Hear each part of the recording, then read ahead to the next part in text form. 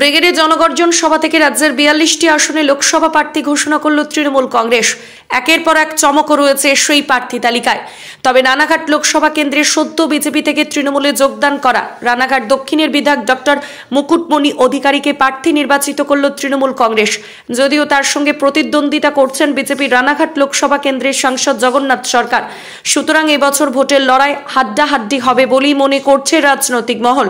তার কারণ ডক্টর মুকুটমণি অধিকারী এবং জগন্নাথ সরকারকে নিয়ে বিজেপির অন্তর্কলহের আগেই প্রকাশ্যে এসেছে। তারপরেই মুকুটের দলবদল অনেকটাই রাজনৈতিক পরিসংখ্যান পরিষ্কার করে দিয়েছিল। রানাঘাট লোকসভা কেন্দ্রে তার প্রার্থী হওয়ার কারণ। তবে তৃণমূলের প্রার্থী তালিকা প্রকাশ হওয়ার পরই রানাঘাট লোকসভা কেন্দ্রের তৃণমূল প্রার্থী ডক্টর মুকুটমণি অধিকারীকে স্বাগত জানিয়ে বিজেপি প্রার্থী জগন্নাথ সরকার বলেন, অন্য কেউ ভোটে দাঁড়ালে হয়তো জয়ের ব্যবধানটা এক লক্ষ হতো। তবে মুকুট ভোটে দাঁড়ানোর কারণে ব্যবধানটা দু লক্ষ পেরিয়ে যাবে।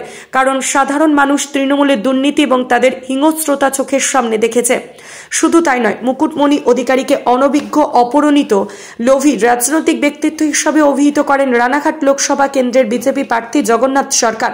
মুকুটমণি প্রার্থী হওয়ায় কি বলছেন রানাঘাট সাংসদ জগন্নাথ সরকার শুনুন।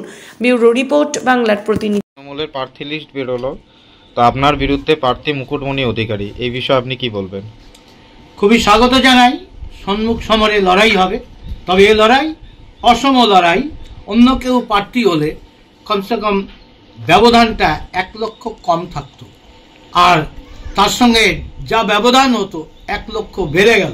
কারণ আমি নিশ্চিতভাবে জানি, মুকুটমণিকে তৃণমূলের পক্ষ থেকে একটা বড় অংশ কোনো মতেই মেনে নেবে না। এবং ভারতীয় জনতা পার্টি আদর্শ ভিত্তিক দল, সেই দলের কোনো কর্মী, একটা কর্মীকেও যেমন তিনি তৃণমূলে নিয়ে যেতে পারবেন না, একটা ভোটও পড়বে না।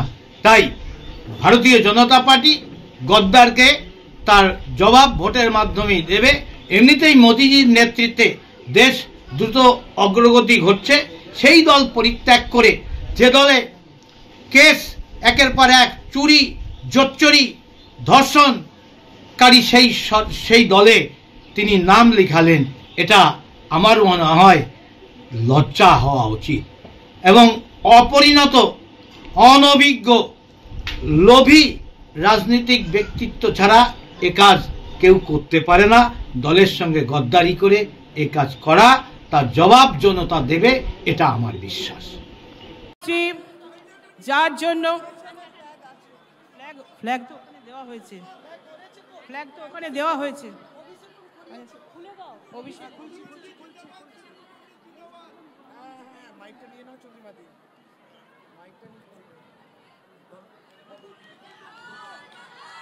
আজকে তৃণমূল কংগ্রেস তৃণমূল কংগ্রেস মমতা ব্যানার্জি মমতা ব্যানার্জি